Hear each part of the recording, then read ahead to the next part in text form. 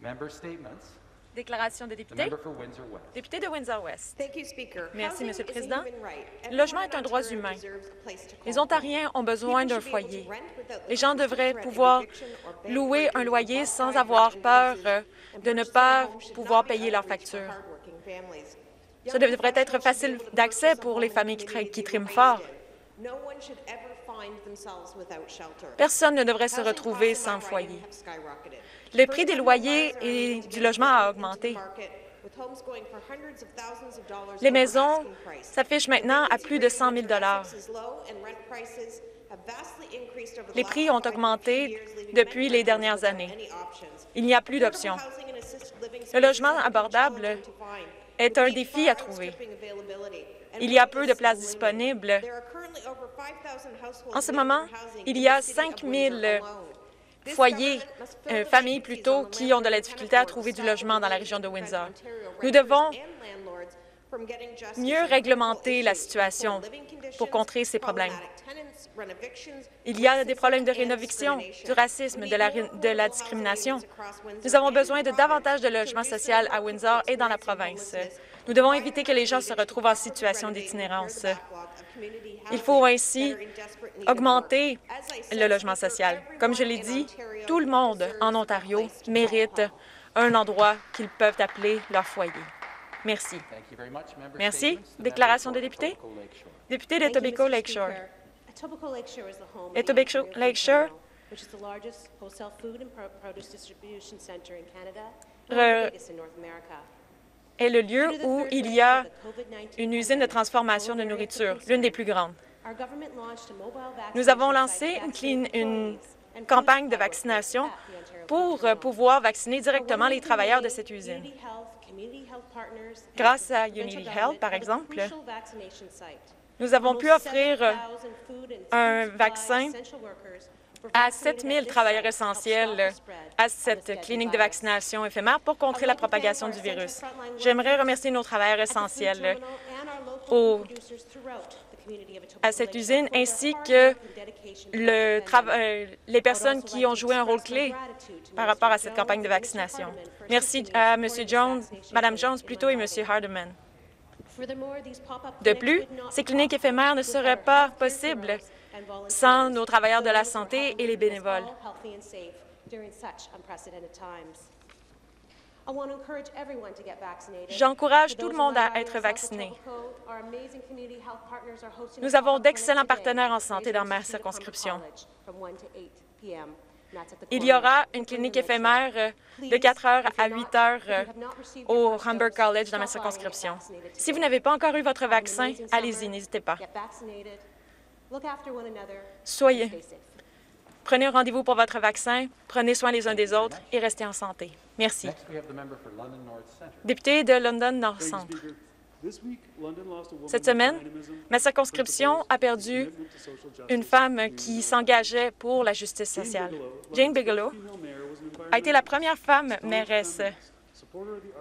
Elle soutenait les arts et les, et les bibliothèques.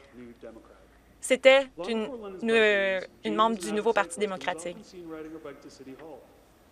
Elle aimait prendre son vélo pour euh, aller au conseil municipal. Elle agissait. Elizabeth. Elle a refusé un jour de, ref- euh, de porter un chapeau lors de la visite de la reine Élisabeth. Elle ne voulait pas se faire dire quoi faire. Ses enfants, Anne et David, se rappellent d'une femme brillante. Elle était une euh, avant-gardiste. Jane m'a offert de nombreux conseils et je serai toujours reconnaissant envers elle. Elle faisait ce qu'elle croyait qui était la chose à faire. Elle était passionnée et elle a aidé énormément de gens. Elle va nous manquer.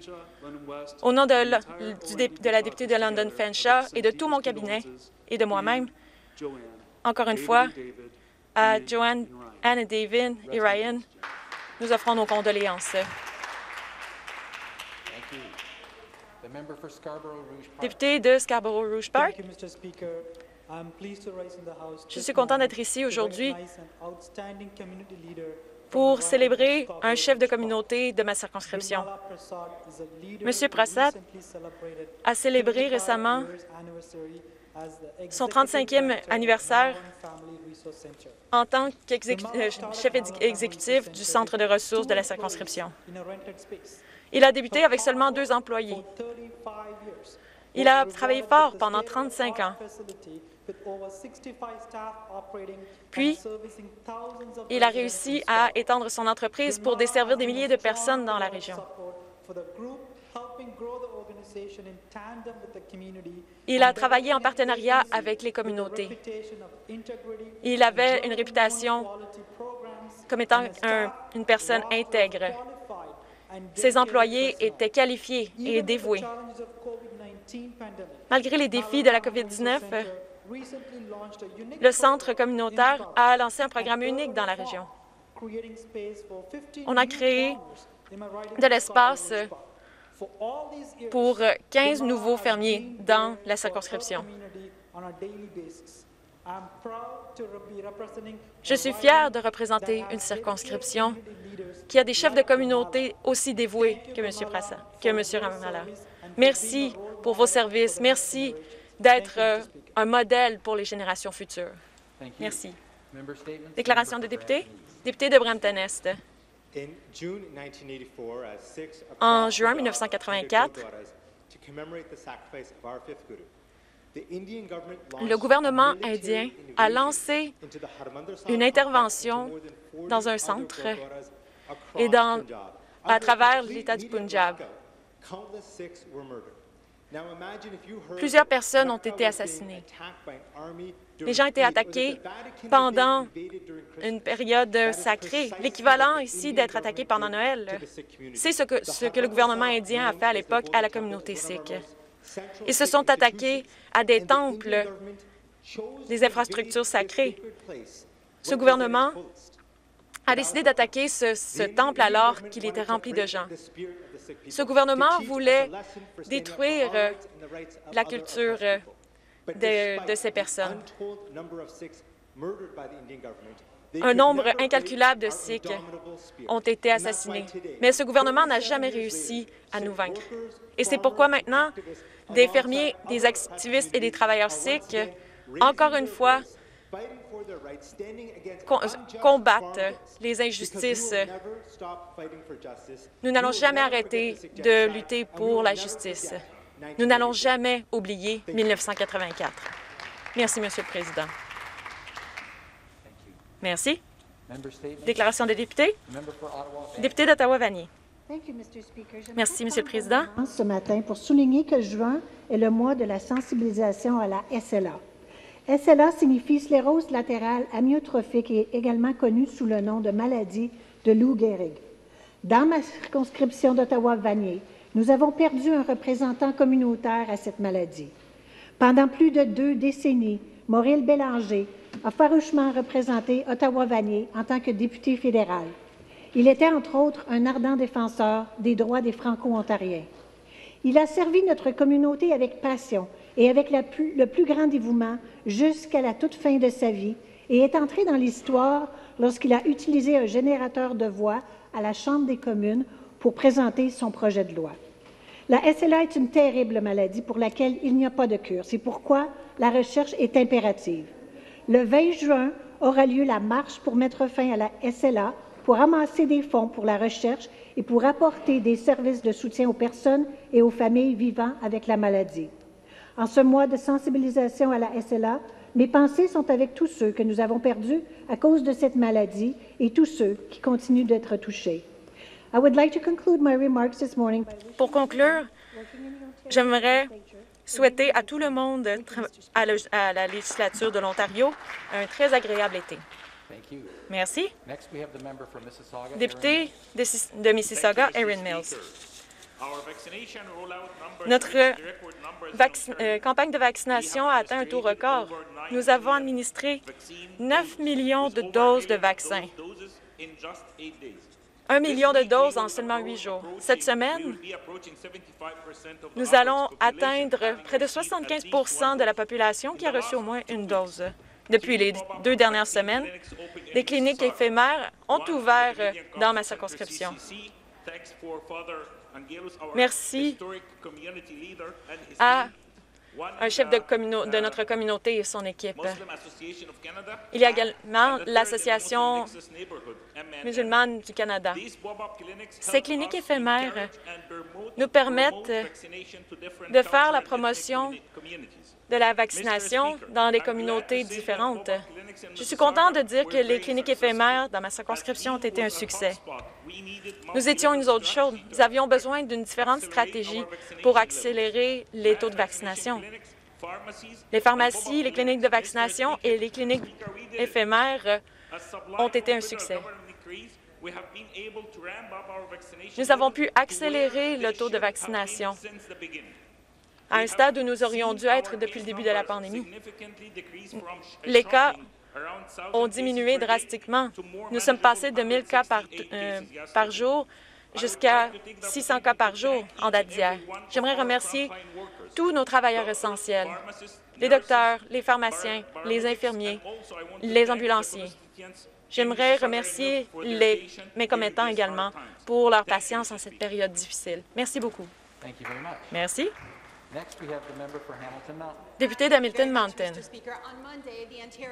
Lundi, le consortium de construction a lancé une campagne. On voulait parler de la crise des opioïdes dans la province. Il sonne l'alarme parce que les travailleurs dans le domaine de la construction sont durement touchés par cette euh, crise sanitaire. Selon le rapport euh, de la, recherche, de santé, il y a eu une augmentation de 60% des décès liés à une surdose d'opioïdes. Cela veut dire que 2500 Ontariens sont décédés de la sorte.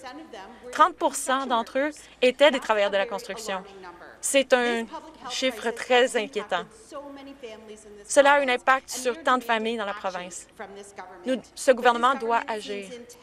Mais ce gouvernement semble ignorer cette crise.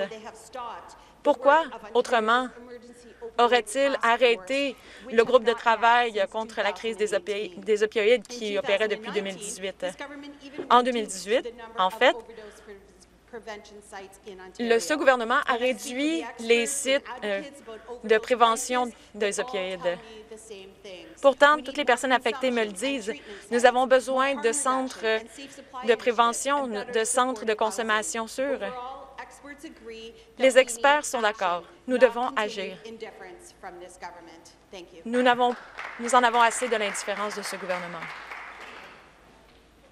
Merci. Député de Richmond Hill. Merci, Monsieur le Président. Je suis ici pour euh, exprimer ma reconnaissance envers euh, les PSSP, les infirmiers et les, et les employés qui travaillent dans les foyers de soins de longue durée. Hier, mon mari a visité ma belle-mère. Elle habite dans un foyer de soins de longue durée. Elle est en santé, elle est heureuse. Pendant la pandémie, nous l'avons, elle a failli décéder d'une pneumonie. Elle a reçu les soins dont elle avait besoin et elle s'est remise de sa maladie grâce aux soins de son foyer de soins de longue durée. Elle est maintenant pleinement protégée en cette période de pandémie.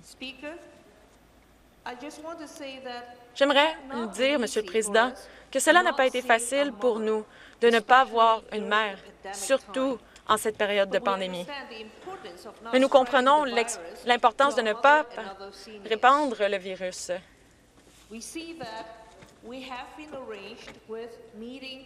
Nous avons réussi à organiser des visites à distance et des visites en ligne.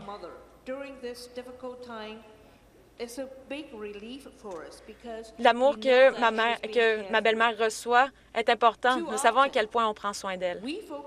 Trop souvent, nous nous concentrons sur les événements négatifs qui se sont produits dans le secteur des soins de longue durée pendant la pandémie.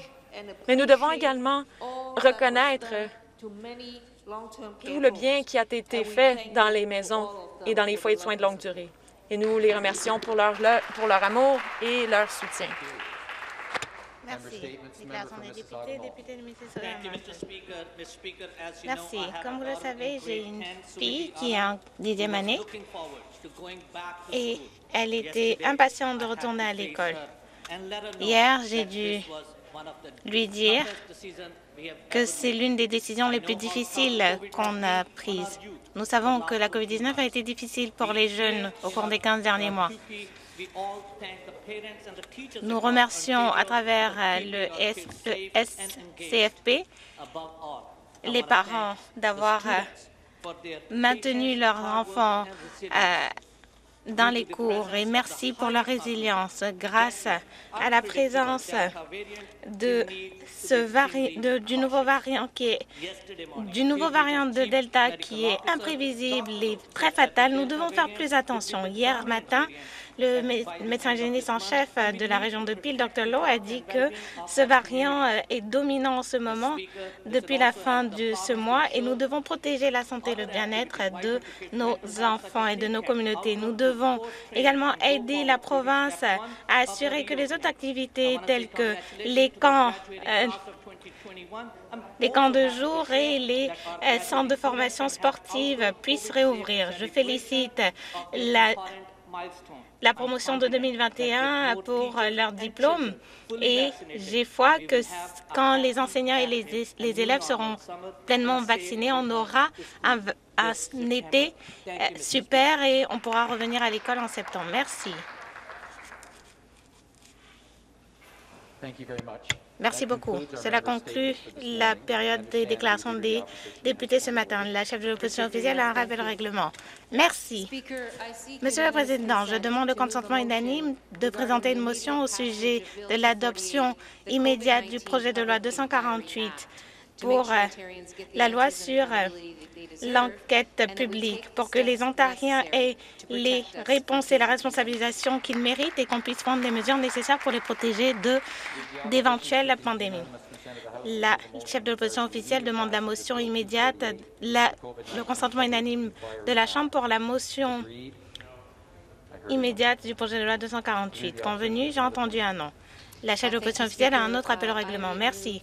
Je demande le consentement unanime de la Chambre pour observer une minute de silence pour les 266 Ontariens qui sont décédés de la COVID-19 depuis le 19 mai. La chef de l'opposition officielle demande le consentement unanime de la Chambre pour une minute de silence pour les 266 Ontariens qui sont décédés de la COVID-19 depuis le 19 mai. Convenu, convenu. Les députés peuvent se lever.